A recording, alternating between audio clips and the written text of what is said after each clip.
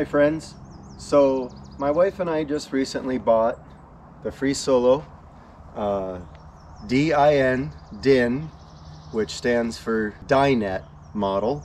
Um, so this was about as big of a camper as we could do.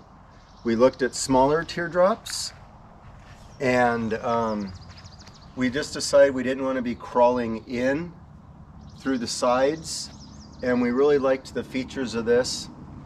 Uh, queen size bed in the back, uh, dinette table in the front, a little wet bath, uh, bathroom in the middle, and the uh, cook area. But when I was looking up these on YouTube, I couldn't find the details that I wanted. So I thought, well, I'll make a video and explain the details that I was looking for to you. So one of them, I was trying to find out from my salesman, what size ball does this trailer need to be towed? Um, he never did answer me. So it is a two inch diameter ball for the tongue. Um, class four, if that matters. I didn't matter to me, but maybe it mattered to you. Uh, the other question I had was what kind of wiring harness did I need on my vehicle to activate the camper. Um, and I was even told it was a four flat. It's not. It's the seven pin. So this gives you the capability of charging, recharging your battery, which is not here at the moment, um, while you're driving. Uh, has the brake actuator. This trailer does have uh, brakes on it. So you can activate those. So that was important for me to know because I only had one day to get my Jeep ready to be able to tow this because I got the information so late. Um, this particular one came with a 400 amp crank hour cold cranking amp hour uh, battery I'm actually putting in a bigger one. I'm going to put in a 600. Uh, I just want a little bit more capability and I am hoping someday to add a solar panel. We'll see. Uh, so over here, um, it's got 15 inch wheels on it.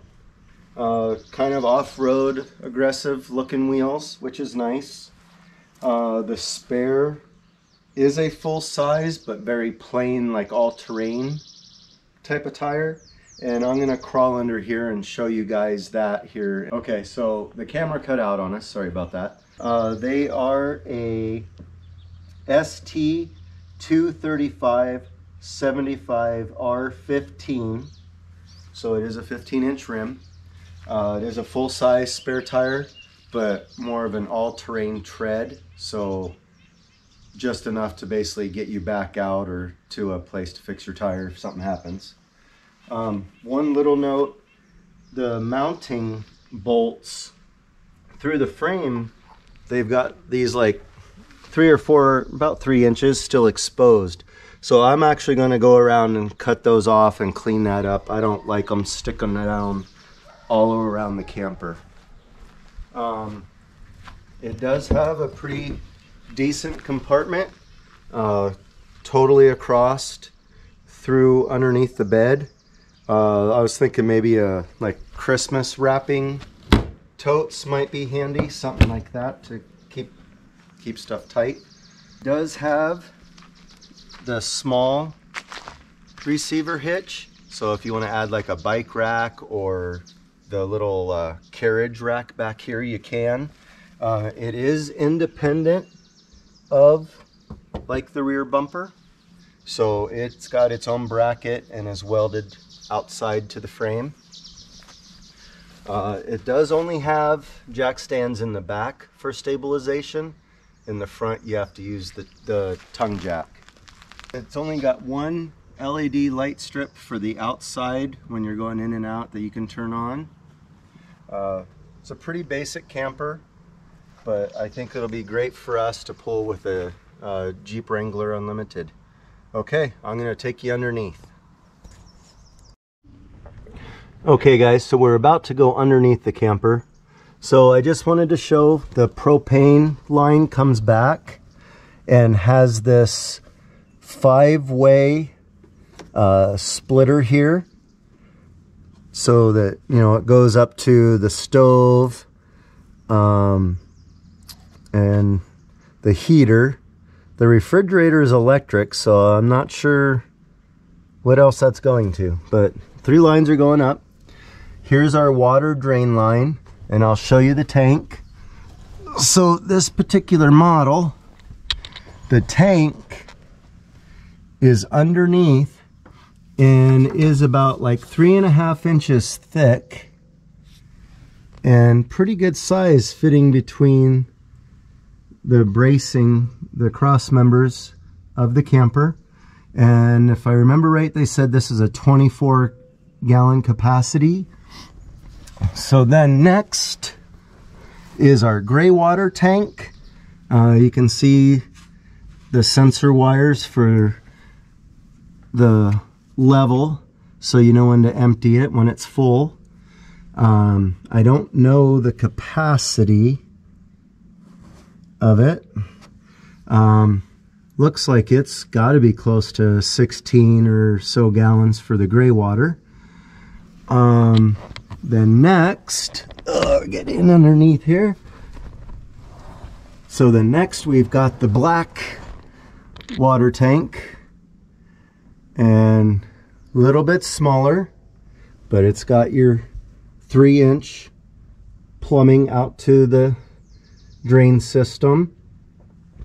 Um, so I wanted to show you why I'm down here. So you can see some of the wiring. Here's the brake wires.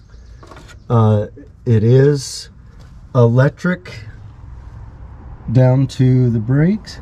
Um, and then you can see the suspension is like a torsion suspension. It's got a full bar, uh, axle bar across, but then it's this torsion, sp like spring-loaded system. So that I thought was kind of unique and hopefully holds up well. I don't know much about them. Um, there you can see the spare tire and it's just basically an all-terrain tread. Uh, haven't figured out how you get it out. It looks like it, like you actually have to crawl under and then like uh, manually spin like the butterfly nut that's holding it up. I didn't see anywhere where you use like a crank handle to lower it on a cable. Um, then also you can see where they, one of the propane lines comes across to the back on the other side and that lets you hook up an outside barbecuer with a quick disconnect. Um, I don't know that I'm going to be using that. I might even take it off. We'll see if it gets snagged on anything. But anyway, that's the underneath, guys. And just wanted to give you some information that I was not able to get.